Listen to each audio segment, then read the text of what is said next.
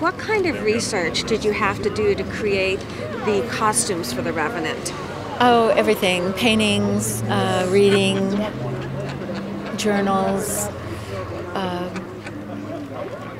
just an array of things.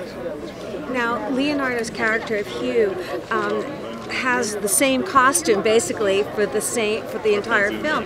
How many versions of that did you have to create? Actually, he doesn't. Okay. He has a pre-bear attack costume, and there were maybe 10 of those in, in stages of aging. And then the post bear attack, I'm sorry, like three of those. And then the post bear attack, maybe 10.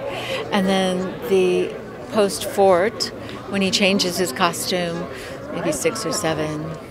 Because of all the stages of blood and the battle and the what we call the cat and mouse with the Fitzgerald character at the end. What is what are we, one of your fondest memories of working on this film? I guess uh, working with Alejandro and watching his process. I've worked with Jack and Chivo on a number of movies, and I'd never worked with Alejandro, and I just loved how passionate he is and how um,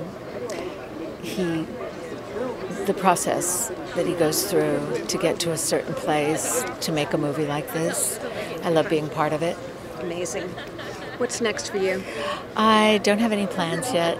I'm taking a break. I just finished a long project, so after The Revenant. So. Well, a well-deserved rest.